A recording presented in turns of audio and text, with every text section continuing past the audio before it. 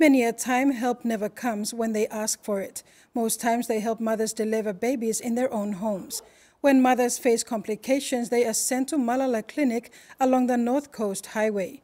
She said the aid post could do with a bit of an upgrade.